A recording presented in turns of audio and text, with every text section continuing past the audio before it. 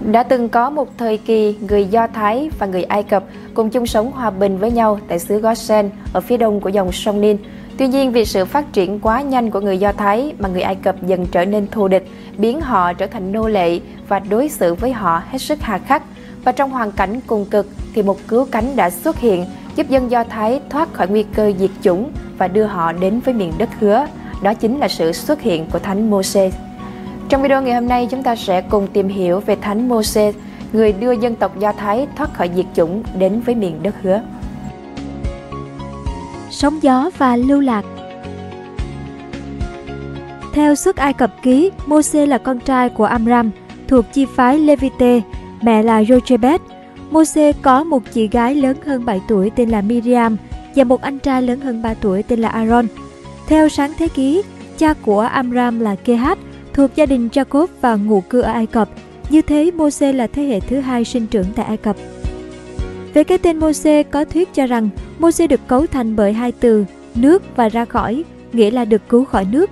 Điều này có ý nghĩa quan trọng vì trong Kinh Thánh, nước thường được xem là hình ảnh tượng trưng cho thế gian tội lỗi.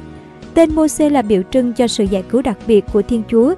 Hình ảnh dân Israel dưới sự lãnh đạo của Môse vượt qua biển đỏ, hàm chứa ý nghĩa họ được giải cứu khỏi nước. Một số học giả đương đại cho rằng trong tiếng Ai Cập, Moses có nghĩa là con trai của, ví dụ như Thutmose có nghĩa là con trai của thần Thốt, hoặc là Ramesses là con trai của thần Ra. Một giả thuyết khác luận giải rằng, trong tiếng Ai Cập cổ từ mô nghĩa là nước, từ C nghĩa là con trai, như thế có thể tên Mose có nghĩa là con trai của nước. Cả Kinh Torah và sử gia Flavius Josephus đều không nói gì đến tên tuổi và thân thế của Moses. Người ta chỉ biết rằng Moses chào đời khi Pharaoh vua của Ai Cập ra lệnh đày đọa dân Do Thái, tàn ác hơn do nhận được lời tiên tri rằng có một đứa trẻ sẽ trở thành đứng cứu thế của dân Do Thái. Pharaoh ra lệnh sát hại tất cả các bé trai bằng cách trấn nước chúng tại sông Ninh. Thế nên sau khi sinh con, bà Jochebed đã tìm cách giấu đứa bé trong 3 tháng. Khi biết không thể bảo vệ đứa con hơn nữa, bà đặt nó vào một cái nôi và thả trôi theo dòng sông Ninh. Miriam, chị của Moses, đã canh chừng cái nôi cho đến khi nó trôi giạt đến nơi công chúa Thermotis đang tắm cùng các nữ tỳ. Công chúa thấy đứa bé nằm trong nôi liền ra lệnh vớt lên. Miriam tìm đến và xin công chúa nhận mình làm vú nuôi để có thể chăm sóc cho em trai. Về sau, bà Jochebed đã thay thế con gái để trở thành vú nuôi của Mose. Mose được đem vào cung và được công chúa nhận làm con nuôi.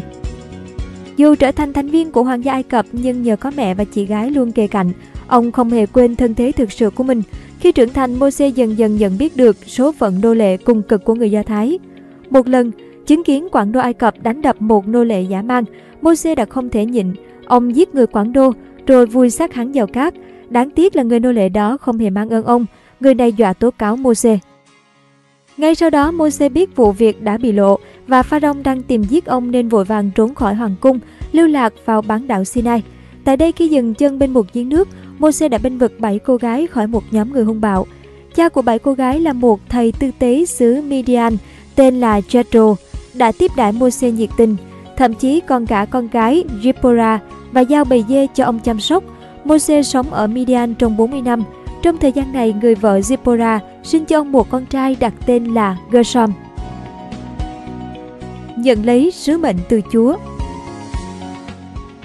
Vào một ngày khi dẫn bầy dê lên núi Horeb, Mose nhìn thấy một bụi gai đang bốc cháy nhưng không lụi tàn. Vì tò mò, ông đến gần để quan sát kỹ hơn. Tại đây Thiên Chúa phán bảo với Mose từ trong bụi gai cháy và mặc khải cho ông danh của Ngài là đấng tự hữu, hằng hữu.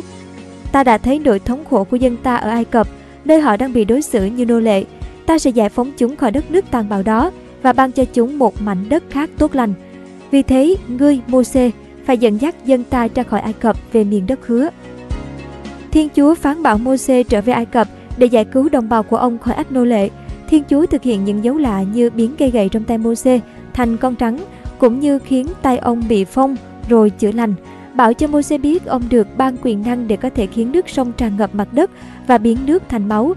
Thư lệnh Chúa ông thực hiện hành trình trở về Ai Cập, giải phóng đồng bào khỏi ách nô dịch. Anh trai Aaron đến đón ông trở về Ai Cập Nhờ những phép lạ, Môse và Aaron thuyết phục được các trưởng lão của dân Do Thái. Trong thời gian Môse vắng mặt, Pharaoh tìm giết Môse đã qua đời. Tân vương lên thay thế, có thể là Ramesses thứ hai hoặc là Menepta. Môse và Aaron đến gặp Pharaoh bảo rằng Thiên Chúa của dân Do Thái muốn nhà vua cho phép dân tộc ông đi cử hành tế lễ trong vùng hoang mạc. Pharaoh không cho phép, quở trách hai người và buộc dân phải lao dịch nặng nhọc hơn. Dân chúng quay sang phiền trách Môse. Lần thứ hai đến gặp Pharaoh, Moses biến cây gậy trong tay ông thành rắn, nhưng các pháp sư của Pharaoh cũng làm được điều đó. Lần thứ ba bên bờ sông Ninh, Moses biến dòng sông thành máu, nhưng các pháp sư cũng thực hiện được điều này. Đến lần gặp thứ tư, Moses khiến ếch từ sông Ninh tràn khắp xứ Ai Cập. Một lần nữa các pháp sư của Pharaoh cũng làm được như thế. Nhưng Pharaoh phiền lòng vì dịch ếch nhái nên đã yêu cầu Moses khiến cho ếch nhái đi xa và hứa cho phép dân Do Thái đi tế lễ. Hôm sau tất cả ếch nhái chết nhưng Pharaoh lại đổi ý, vẫn cầm giữ dân Do Thái. Sau đó bỗng dưng tai họa bất ngờ đổ xuống Ai Cập dồn dập. Người ta cho đó là 10 tai họa bởi tay Thiên Chúa mà Moses là người thông sứ. Sự kinh hãi bao trùm khắp đất nước Ai Cập. Sau cùng, họ chịu để dân Do Thái được tự do. Sự kiện này được kỷ niệm hàng năm trong mỗi gia đình Do Thái khi họ cùng nhau dự lễ vượt qua, nhắc nhở rằng tai họa ấy đã vượt qua khỏi các gia đình Do Thái, nhưng mang sự chết chóc đến từng nhà người dân Ai Cập. Huyền tích Biển Đỏ trẻ đôi Moses dẫn dắt dân chúng đi về hướng đông, khởi động một cuộc hành trình dài tiến vào Canaan, một khu vực ở phía tây Trung Đông. Đoàn dân di chuyển chậm chạp phải cắm trại hai lần trước khi vượt qua biên giới Ai Cập để đến bên bờ biển đỏ. Trong khi đó, Pharaoh đổi ý tập hợp binh lính đuổi bắt những kẻ nô lệ vừa được phóng thích. Đoàn dân khiếp đảm nhưng theo kỹ thuật của xuất Ai Cập ký, Thiên Chúa đã khiến cho nước biển đỏ phân rẽ ra, làm cho biển khô để dân Do Thái có thể đi qua. Sự việc sau đó được Kinh Thánh ghi lại rằng Thánh Môse giơ tay trên mặt biển và biển ập lại như cũ vào lúc tảng sáng. Quân Ai Cập đang chạy trốn thì gặp nước biển. Đức Chúa xô ngã quân Ai Cập giữa lòng biển. Nước biển ập xuống, vùi lấp chiến xa và kỵ binh, vùi lấp toàn thể quân lực của Pharaoh đã theo dân Do Thái vào lòng biển, không một tên nào sống sót. Cứ ngỡ rằng đó chỉ là truyền thuyết nhưng các nhà khoa học lại cho rằng mặt nước tách đôi hoàn toàn có thể xảy ra. Các nhà nghiên cứu từ Trung tâm Khí học Quốc gia NCAR và Đại học Colorado ở Mỹ đã mô phỏng bằng máy tính để tìm hiểu xem điều gì thực sự đã diễn ra ở Biển Đỏ. Cuối cùng, họ đưa ra một kết luận bất ngờ. Theo đó, những cơn gió đông mạnh mẽ đã thổi suốt đêm, làm cho mặt nước tách đôi ngay tại vị trí đầm phá ven bờ bắc của Biển Đỏ phía bờ Ai Cập. Người Do Thái lần theo con đường tạm thời này để chạy trốn trong đêm. Gió đã làm nước chuyển động theo cơ chế vật lý nhất định, từ đó mở ra một hành lang an toàn cho người Do Thái. Sau đó nước trở lại vị trí ban đầu và trùng hợp thay nó xảy ra đúng thời điểm tảng sáng để nhấn chìm quân Ai Cập. Được biết trong thí nghiệm mô phỏng, sức gió 100 km/h có thể làm mặt nước dạt ra với chiều ngang 5 km trong suốt 4 giờ đồng hồ. Đó là những yếu tố cần thiết giúp cho hàng trăm ngàn người Do Thái chạy hết quãng đường dài từ 3 đến 4 km sang bờ bên kia. Dĩ nhiên, các nhà khoa học cũng không thể nào giải thích được hết các chi tiết thần thoại. Ví dụ như làm thế nào mà người ta có thể đi bộ trong sức gió lên đến 100 km h Giả thiết được đưa ra là có thể vì số lượng người quá đông nên vô tình họ đã tạo thành một bức tường người để bảo vệ.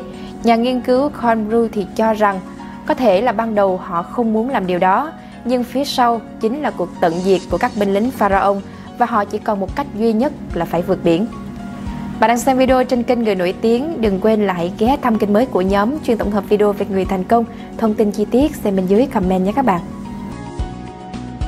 Hành trình đến với miền đất hứa Sau khi vượt qua biển đỏ, thoát khỏi cái chết và kiếp nô lệ trong găng tức, đoàn người cứ thế lầm đuổi đi tìm đến Exodus, miền đất hứa, với khó khăn chồng chất. Khi đến Mara, một nơi thuộc bán đảo Sinai, gặp phải nguồn nước đắng, dân chúng oán trách Moses. Moses lấy một thanh gỗ ném xuống nước, nước bèn hóa ra ngọt. Rồi đến lúc thực phẩm cạn kiệt, dân chúng cũng tìm gặp Moses và Aaron, bảo rằng họ thà chết trong kiếp nô lệ tại Ai Cập còn hơn là phải chết đói trong hoang mạc. Thiên Chúa khiến cho Mana, một loại bánh được dùng làm lương thực thay thế, rơi xuống từ trời mỗi sớm mai. Buổi chiều có chim cút bay đến phủ các lều trại của dân Israel. Nhưng khi giờ trại đi đến Rephidim, ở đó không có nước và dân chúng lại oán than. Sao người mang chúng tôi ra khỏi xứ Ai Cập để chúng tôi, con cái và bầy súc vật phải chịu chết khác như thế này? Moses lại thể hiện phép màu của Thiên Chúa bằng cách đập vào một tảng đá, nước bèn tuôn ra. Thế rồi những chiến binh Amalek, kẻ thù truyền kiếp từ thời khai thiên của người Do Thái ở Sinai đã tìm đến và tấn công đoàn người. Moses ra lệnh thân tín là Joshua dẫn những tráng sĩ tuyển chọn từ đoàn dân ra đối địch, trong khi ông đứng trên đỉnh đồi với cây gậy của Thiên Chúa trên tay. Khi Moses giơ tay cao thì các chiến binh Israel thắng, song khi ông hạ tay xuống thì kẻ thù thắng. Do Moses quá mỏi nên Aaron và Hur đã phải ngồi hai bên để giữ tay ông cao cho đến chiều tối lúc người Amalek đại bại trước dân Do Thái. Nhạc phụ của Moses đến thăm đem theo vợ và con trai của Moses, gia đình sum họp. Khi đến Sinai, đoàn dân hạ trại, Moses ra lệnh không ai được chạm vào núi. Ông lên núi, nhận lãnh 10 điều răn khi ấy chưa được khắc trên bản chứng và các điều luật đạo đức khác. Moses cùng với Aaron, Nadab, Abihu và 70 trưởng lão lên núi chiêm ngưỡng thiên chúa của người Do Thái. Sau đó, một mình Moses lên núi để nhận lãnh bản đá, ông để lại Aaron và Hur chăm lo cho dân chúng. Trước đây, Thượng Đế giao ước riêng với Abraham, còn lần này Ngài giao ước với toàn thể dân tộc Do Thái qua những lần Moses lên đỉnh núi Sinai để trực tiếp gặp Ngài. Qua những lần gặp gỡ Thượng Đế, Moses chuyển giao lại cho dân tộc Do Thái các huấn thị của Ngài. Thượng Đế lúc này tỏ lộ danh xưng, gọi là Jehovah, và giao ước lần này cũng rất rành rọt, đó là chừng nào dân Ngài chọn còn vâng lời Ngài, chừng đó họ sẽ được Ngài che chở. Những tư liệu liên quan đến sự kiện trên núi Sinai đã trở thành những tư liệu quan trọng nhất trong Kinh Thánh Hebrew. Theo sách sáng thế, các nguyên lý căn bản của Do Thái giáo thực sự được mặc khải tuần tự theo các dòng dõi các tổ phụ, từ Adam đến Jacob. Tuy nhiên, Do Thái giáo chỉ thực sự được hình thành như một tôn giáo khi Moses nhận lãnh 10 điều răn trên núi Sinai, cùng với hệ thống tư tế và các nghi thức thờ phụng tại ngôi đền Jerusalem sau khi dân tộc này được giải cứu khỏi Ai Cập. Song đang lúc Moses ở trên núi Sinai để nhận lãnh giáo huấn và luật pháp của Thiên Chúa, dân chúng đến gặp Aaron và yêu cầu ông dựng các thần linh cho họ. Aaron quyên góp vòng đeo tay của dân chúng và đúc nên một con bò bằng vàng rồi nói rằng sáng mai sẽ có tế lễ tôn kính cho Yahweh. Sáng hôm sau, dân chúng dân lễ, ngồi ăn uống, đứng dậy mà vui chơi. Cơn thịnh nộ của Thiên Chúa đã nổi lên, nhưng Bose nài xin Chúa đừng diệt họ. Ông xuống núi thấy dân chúng nhảy múa quanh bò vàng, liền giận dữ ném vỡ hai bản chứng, phá nát tượng bò vàng và của trách Aaron. Nhận thấy người dân vẫn tiếp tục buông tuồng, Moses đứng nơi cửa trại nói, ai thuộc về Chúa hãy đến đây cùng ta. Hết thảy người Levites, đàn ông Do Thái có dòng dõi gia trưởng từ bộ lạc Levi, đều đến bên ông. Sau đó Moses ra lệnh cho họ giết những kẻ thờ lại bức tượng. 40 năm lưu lạc Đoàn dân rời Hazeroth rồi cắm trại trong đồng bằng Paran, phía bắc bán đảo Sinai ngay phía nam Canaan. Moses sai 12 người được tuyển chọn từ 12 chi nhánh vào do thám xứ Canaan, trong số đó có Caleb và Joshua. Sau 40 ngày họ trở về mang theo nho và các sản vật khác từ Canaan. Mặc dù có sự đồng thuận về sự trù phú của xứ Canaan, nhưng chỉ có Joshua và Caleb thuyết phục đoàn dân đi chiếm lấy. Dân chúng kêu khóc đòi trở lại Ai Cập vì họ khiếp đảm trước thành trì vững chắc và thể hình cao lớn của dân trong xứ. Họ bàn bạc với nhau lập nên một người lãnh đạo mới dẫn họ quay trở lại Ai Cập.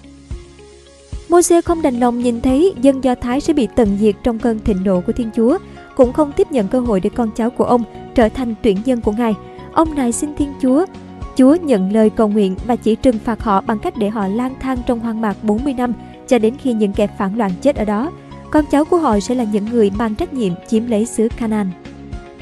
Xung đột mạnh mẽ, người dân quyết định tiến vào Canaan dù Moses đã cố ngăn cản họ và họ đã thảm bại trước dân Amalek và Canaan.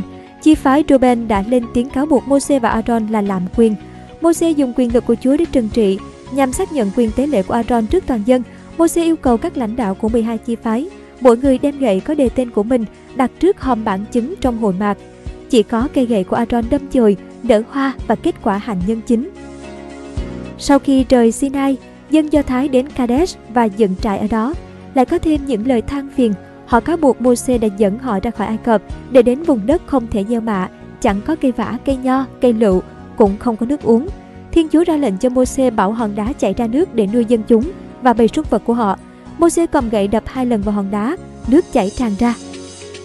Khi dân Israel tiến đến bờ cõi xứ Moab, họ nhận ra rằng trước đó dân Moab đã bị Sihon, vua của Amorit, tấn công Moses sai sứ giả đến xin phép vua bằng ngang lãnh thổ Amorit nhưng bị từ chối nên ông đã ra lệnh tấn công. Sau khi chiếm giữ lãnh thổ của dân Amorit, người Do Thái tiến theo hướng Bắc đến Basan, vùng đất màu mỡ nổi tiếng với những rừng sồi và bầy gia súc. Vua Ốc là người cai trị xứ này. Dân Do Thái đã đánh bại đạo binh của vua Ốc tại Edrei, biên giới của Basan, tàn sát hết cư dân và chiếm lấy xứ. Từ đây, công cuộc mở đất của họ bắt đầu trao gửi vận mệnh dân tộc cho tương lai. Moses được Chúa cho biết ông sẽ không được dẫn dắt dân Israel vượt sông Jordan để tiến vào đất hứa và sẽ chết bên bờ đông của dòng sông. Vì vậy Moses tập hợp 12 chi phái và nói với họ những lời sau cùng. Thông điệp của ông được chép trong phục truyền luật lệ ký. Moses tóm tắt luật pháp, nhắc nhở họ những điều quan trọng nhất. Ông cũng đưa ra những lời cảnh cáo nghiêm khắc tiên báo những thảm họa và sự hủy diệt, cuộc sống triền miên trong đau khổ, khiếp đảm và sỉ nhục nếu họ lìa bỏ Thiên Chúa. Sau đó Moses chúc phước cho dân chúng, rồi lên núi Nebo đến đỉnh Pisgah, nhìn khắp xứ đang trải rộng dưới chân rồi từ trần.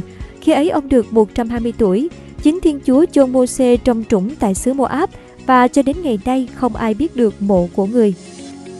Như vậy Moses là trợ thủ đắc lực của Thiên Chúa để tạo lập đất nước Israel và ban luật pháp cho họ. Ông được xem là người khiêm hòa hơn mọi người trên thế gian, là người được hưởng đặc ân của Thiên Chúa. Vì về sau trong Israel không còn dấy lên tiên tri nào giống như Moses. Ông được xem là nhà tiên tri quan trọng cho cả ba tín ngưỡng lớn là Kitô giáo, Do Thái giáo và Hồi giáo. Thánh Môse chính là người đã tiếp nhận và phổ biến 10 điều răn của Chúa như những tiêu chuẩn đạo đức cơ bản nhất. Trong đó, ngoài những yêu cầu về mặt tín ngưỡng, thì con người cũng phải hiếu thảo với cha mẹ, không được giết người, không được ngoại tình, không dối trá, không trộm cướp và cũng không nên thèm muốn bất cứ thứ gì của người khác. Cảm ơn bạn đã xem video trên kênh Người Nổi Tiếng. Đừng quên lại nhấn nút đăng ký và xem thêm những video mới để ủng hộ nhóm nhé.